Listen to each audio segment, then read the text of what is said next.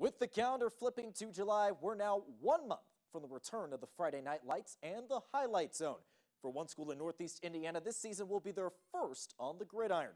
Blackhawk Christian is weeks into launching their brand new eight-man football program.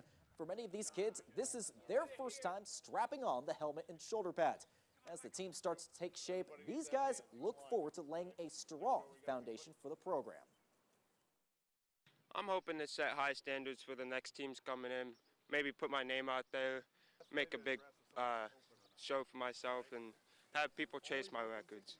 I want uh, future uh, all my teammates to uh, sort of be used to that leadership role, so that when they are in my shoes as a senior, they know how everything kind of worked out and whatnot. I'm just trying to be like a good leader and like trying to uh, encourage the other guys, like when they're feeling like a little bit down or like getting tired, just try to be there to like help them get be the best for the team. Blackhawk Christian is still finalizing their schedule for this fall, but they do plan to host at least one home game this season.